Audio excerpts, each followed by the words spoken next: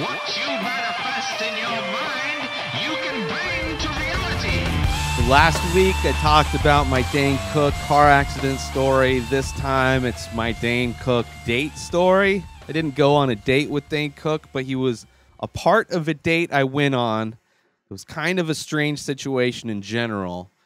So I met this girl online. That was back in like 07 ish, uh, MySpace days. There was other social net, you know, social media networks out there, um, similar to MySpace. There was one that was like a weed version of this. Was way before I started smoking weed, um, or a few years before I started smoking weed.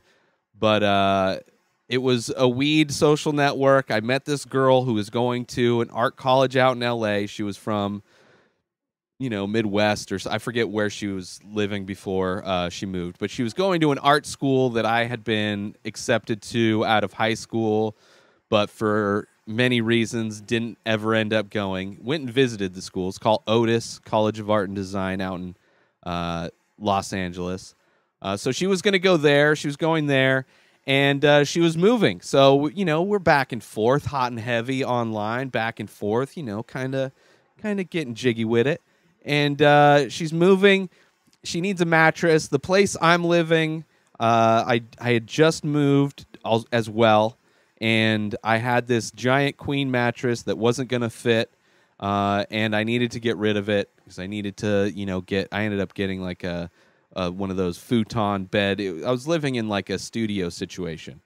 And so I was going to get rid of the mattress. So I decided I'm going to give her the mattress. We're going to meet uh, when she's moving. I think I want to say we showed up. I showed up um, the day that she moved. I can't remember. It was very. Her parents were there to help her move, so I got to meet her parents also.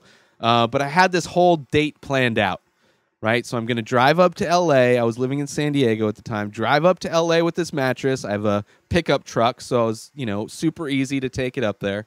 Um, you know, give her the mattress, you know. And actually, this is the first time we're meeting in person. Like every all of our connections were online.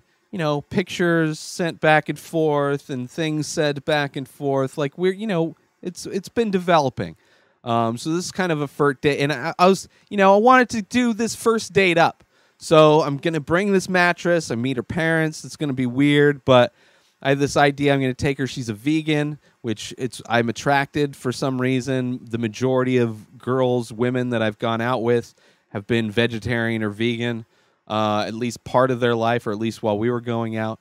Uh, so went to a vegan restaurant. Had plans to go to a vegan restaurant, and then from the vegan restaurant, go to the beach, park, and uh, watch the sunset. You know, be like super romantic, whatever, whatever and uh, so that's what we did. So I went there, brought her the mattress, uh, met her parents, which I'm sure it was awkward for them. It's like, oh, this guy that you, you've never actually met in person, you met online, he's bringing you a mattress, and you're going to go hang out with him. Uh, so I give her the mattress. We go to the restaurant. Ends up not being very good.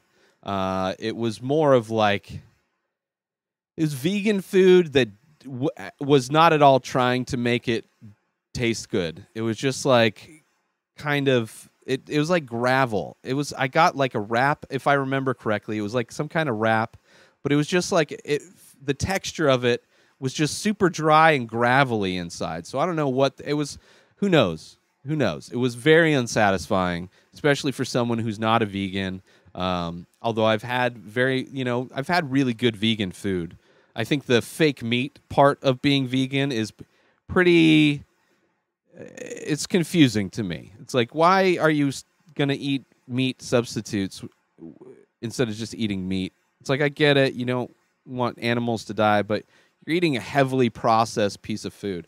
Um, but yeah, so we go to the vegan restaurant. Wasn't that good? So we go to a beach. I don't know what beach it was, right? I don't know what beach it was, but somehow we parked. I got a parking spot where you could see like the beach kind of and like the sun and I think we showed up a little bit too early. But the idea was okay, I'm going to roll down the windows. We're going to go in the bed of my truck and we're going to, you know, make out. I got like, I think I had like blankets maybe or sleeping. I don't know.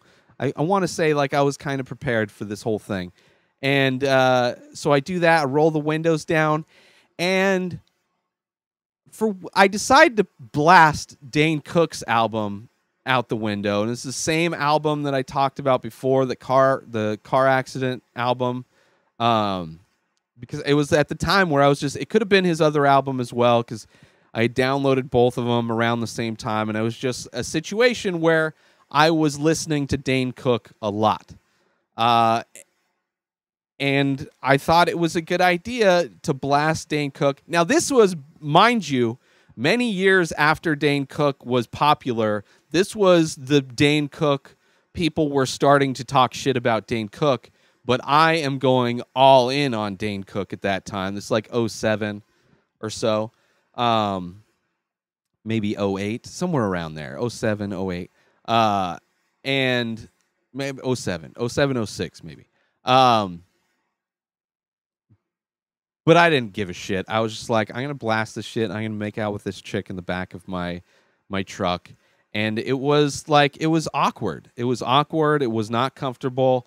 Um, you know, people walking by while we're groping each other and just basically being restricted to what we could do because we're out in public. Like easily we could have had a cop show up and just arrest us for the things we were doing but we weren't even doing that much because we were so restricted.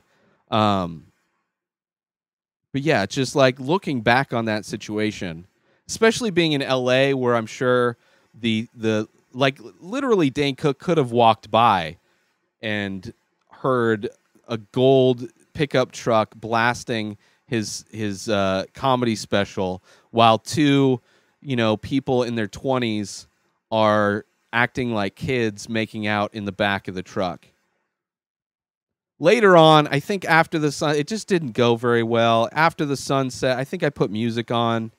Like I, I'd kind of realized in the moment that listening to Dane Cook wasn't maybe the most romantic thing to be making out to, and so I started put on just some other just horrible music that I was listening to at the time, some like pop punk or whatever.